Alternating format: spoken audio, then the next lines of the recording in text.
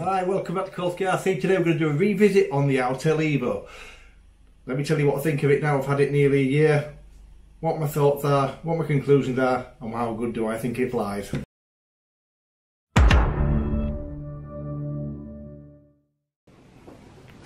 So we're going to take a relook at the Evo.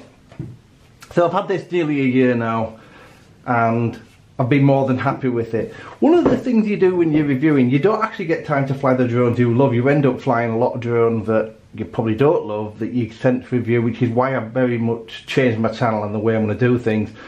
Because I wasn't flying for me anymore, I was flying to review, and the, the toy grade stuff became bind because it was going to fly something like there was a lot of stuff you've not seen on my channel because I didn't even put it up there because it was that bad so I stopped doing all that and started enjoying what I, what I already own. I own a lot of camera drones as you're probably well aware from watching the channel.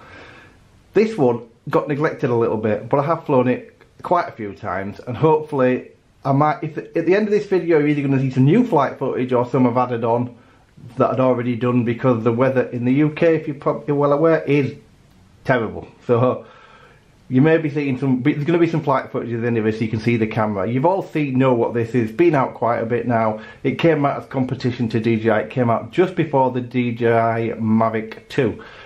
Uh, not that long before, a couple of months, I think three months before.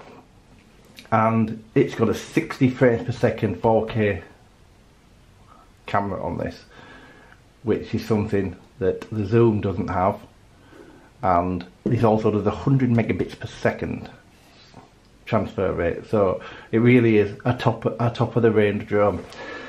So let's just talk about this, my experiences with it. So this is advertised as 30 minute flight time and 4.3 miles. I have not been 4.3 miles with it. I have been a long distance with it. I have been well over two and a half. I think I've been about 2.7 miles with this and had absolutely no issues whatsoever. I don't really seem to have issues with the app freezing or anything like that like I do on some of the drones it seems to get a consistent relay back to my phone and my controller. The flight time's advertised at 30 minutes. I'd say that's probably well possible. Uh, last year in December, I think it was, I did a flight, I put a flight footage up and I flew this thing in minus 5 and I got 26 minutes in minus 5 degrees. And I seem to get between 26 and 29 on virtually every flight. So for once, the flight times seem to be right. I've never flown it in stupidly high wind or something like because that will affect it. But I can only tell you what, judging on my experience. The worst I've ever had on this was 24 minutes and that might have been on a bit of a windy day. And various things can affect the drone as you're well aware. So you can never really go by what they're telling you on the advert or the website, but this thing's something close. So why do I, why have I still got this? Because I own the Mavic Zoom and I own uh, a lot of other drones. So the reason I still have this, this is 60 frames per second, and I didn't want, I didn't buy the Mavic Pro for that Mavic 2 Pro for that reason. I had a 60 frames per second drone. Do I think this drone's perfect? No, no. It, it to me, it, it isn't, but no drone is. You can always find faults with drones. The only thing I would say about this one I have to play with the colour settings before I fly because if I don't I can have it, the image can look a bit yellow but that's not all the time and a lot of time that happens that's my fault if you've seen a video and it looks a bit yellow. It's probably my fault because I haven't set it up properly at the beginning. So you do have to its auto isn't as good as the auto on some other drones. Having said that that does not mean this is not a good drone. This is an amazing drone. And this is an amazing drone for two reasons. One it's extremely stable it gets the advertised flight time and all that but it has a screen built into the controller. Not does it have a, just have a screen built into the controller, it's a usable screen built into the controller. And that makes a difference. Because I have you've probably all seen drones with screens built in. A lot of times they're not usable. So this is only I think it's only 366 nits, but I have no issue seeing this in the sun at all. Absolutely nothing. And I've still got the screen protector on the thing which can make a difference. Now whether it's making a difference in a good way, I don't know. So let me just boot it up.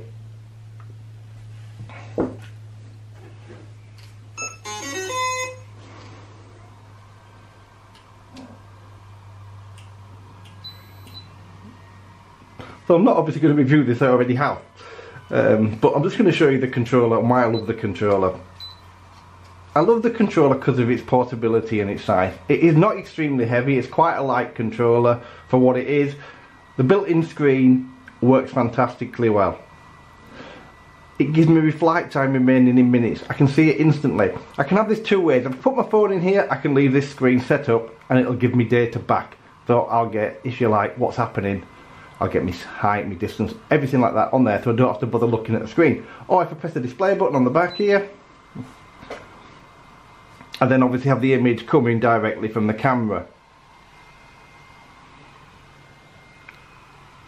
It's quite dull in here as you can probably tell and obviously I've got screen. This is making a difference and the only reason I left it on is I didn't want to damage my screen.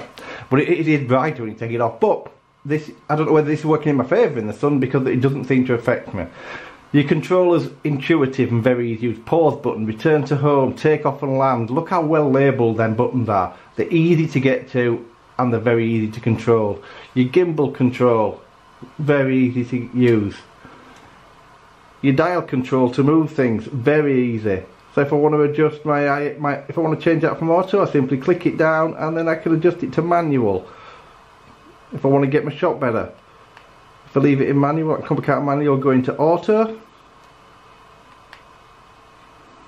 There's so much you can do on this that's in really good.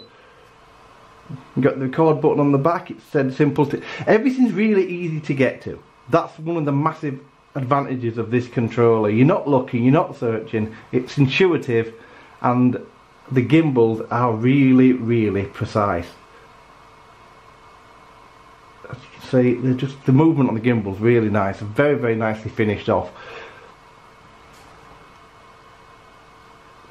It's just the fit and finish is absolutely amazing. The fit and finish of the whole drone is fantastic. It's a very well made drone. So, let me just stop the recording. So yeah, you can, I love the way you can control this.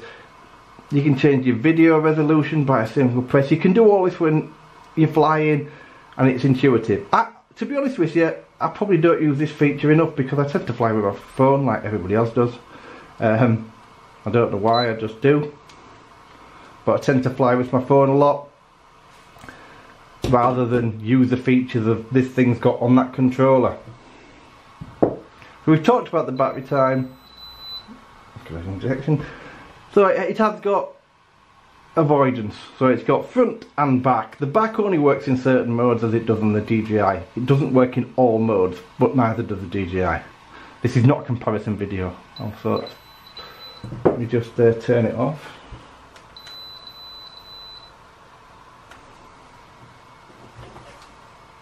So like I said, this isn't a comparison video. I'm not going to compare this with DJI. I just wanted to do a run through with you. Actually, Steve at Southport RC asked if I could do this, and I was actually going to do it anyway, but probably in a month's time. But so I decided to do this because Steve's interested in buying one at some point. Which brings me on to the only issue that this drone has. Getting older one is not that easy because this isn't a worldwide release drone, and it isn't, you can't buy this in the UK, because there's no one going to stock this in the UK for you, you can't, most of the Chinese sites, I don't think you can get on Banggood, GearBest and all them other Chinese sites, you're going to either be buying it from Autel, or you're going to be buying it from eBay. If you're buying it from eBay, be very careful who you buy it off. There's also some sites, if you search on Google, you're going to find some sites, I'm not allowed to name them, but if you do see them sites, and they say they're in the UK, and they've got them, and they're called some camera related, I can't say what they are. Do not buy from these places. They're not genuine. They're going to rip you off. And I think what the, the whole point is they try and hold on to your money till PayPal give it you back, which could be three, four months down the line. So avoid them like the plague. I bought this used on eBay. And I think I paid, I can't remember, if you go back to my first video I probably said, I think it was 750 with two batteries. So what do you see on the bench here? I'm more than happy with that price. It's $999. It's never been reduced in price. Should it be? Probably not. I don't think. Why would it? Why, why would you reduce it in price when the other when the competition's more than that still anyway? Is this a great drone to buy? Absolutely. Are you going to be disappointed with it? Never in a million years. You're going to be very happy with this drone. It doesn't have a zoom feature. Neither do most drones. It has digital zoom, but it's as bad as most digital zooms are. They're never that great. When you buy it, it comes with a charger. The power supply is in the garage because I've just unplugged it after I charged it, and the battery's charged things uh, quick. But the, one of the other points about this is this lot fits into this case. Put me somewhere over there. Yeah, this is a DJI Mavic 2 case. When I got my Mavic 2, I got the plastic hard case with it as well. So this came spare. So all that fits in here nicely. So you've only left with this. The drone I think weighs just under, just over 650 grams with a battery. It feels heavier than that. I'm sure it's 600. I might be wrong on that one, but it feels heavy in comparison to some other drones. But it doesn't feel heavy when in, in the air. Sometimes when you fly a drone, you get the impression that the drone feels heavy. If you watch the Power Egg video I did the other day, that is a heavy drone, but I could tell when I was flying it, it feels heavy on the sticks. This doesn't and that's probably because of the power, the thrust from these motors and the fact they've got that balanced. So yeah, this sounds like an advert for Autel. I won't sell this drone now because probably I could probably get back what I paid for it. Probably more because they tend to go a little bit more now on eBay, but I've no intention of selling it. It's another one in my collection, and there will be more videos of this coming up definitely so if I don't if I get the video you're going to see at the end. If it is one that I've already put up before and I've just cut it and spliced it so you can see what this video looks like there will be a video coming shortly. I'm going to fly this in the same place I flew the Mavic 2 Zoom the other day if you saw that video. I flew that in Saddleworth so I'm going to fly this in the same area. Probably the weather won't be as good because I'm very lucky getting a sunny day like that. But it's a nice place to fly. It's an open space. There's stuff to look at. The res looks great and there's really a lot of open field and a lot of different stuff to look at. So I like flying there. You can follow the road if you want to get some kind of continuity to see where you're going. I, I love it. So that's where this is going to be filmed and a lot of other things are going to be filmed. So you are going to see much more from this moving forward. Thanks to everybody that voted on the poll I put up the other day. I think it's at 40 odd view 40 odd votes where I did put this in the poll. But there seems to be a lot of people wanting to see the Zino so I will do more videos on the Zino. I haven't done one for ages uh, I'll let you know how I'm getting on with it. The reason for doing this one first is Steve asked for um, Southport RC, but mainly because this is coming up to a year old now. So is the Zino, so I wanted to get this up there.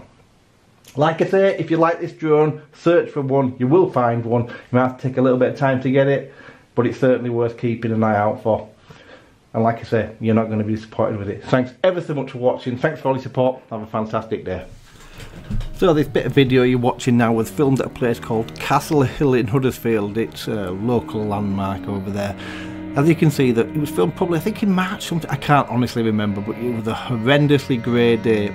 But look at the clarity the camera's picking up of that, what they call a castle. It's more like a turret. But if you look at the quality that it's pulling there, you can see how good it is. Really, really sharp.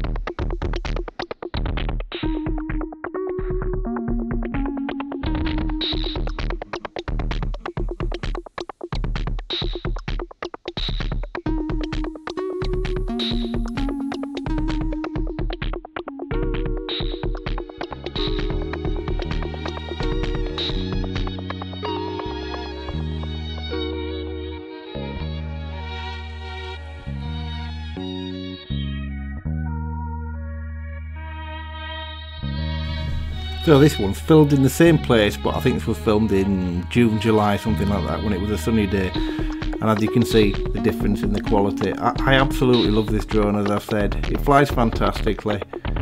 Uh, you do get your props in shot occasionally, you have to make sure you angle that camera down. But 100% love it.